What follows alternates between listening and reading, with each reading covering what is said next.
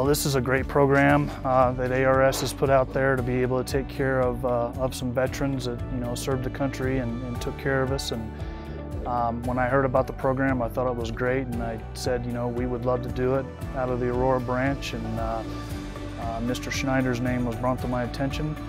Uh, came out here and walked the house with him, and, uh, and, and said this would be a perfect job for us. Um, we do have a couple veterans working for us. Our general manager, Jeff Watts, is, um, was in the Marine Corps. Um, actually, the lead installer of this job, um, Andrew Vargas, was also in the Marine Corps.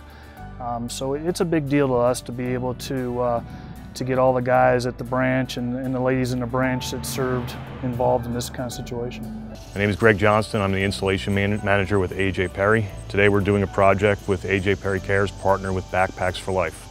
One of the reasons we're here today is because we have a system that was originally installed with the house and due to the age of the system it was starting to give them some fits and uh, basically evaluated the project and looked at they were in need of a total replacement of all their heating, ventilation, air conditioning and their water heater due to age and efficiency.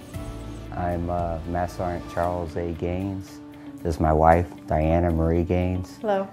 And uh, we are um, here at in Bayville, New Jersey and we are recipients of a uh, new HVAC and heating system, water heating system uh, from AJ Perry.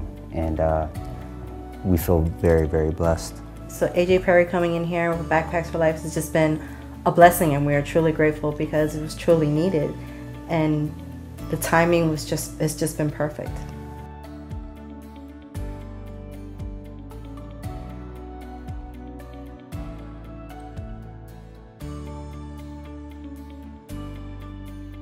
Uh, hi, my name is Matt Daubenmeier, uh, Service Manager for Columbus Worthington Air. Uh, we're also part of American Residential Services. And we're here today to help Jean Pettit out with putting a new furnace in her home. And we're also going to make the air conditioner right and put a new thermostat on for her. Just try to make your home safe and make it right the way it should have been the first time. I'm Jason with ARS Plumbing Rescue Rooter. Uh, I've been with the company since 95. Uh, we're here at Jean's house. We're going to put a new sewer in, replace our water heater, replace some of the plumbing inside the home, bring this up to code, get everything in order so she can have a nice, happy home and use her plumbing.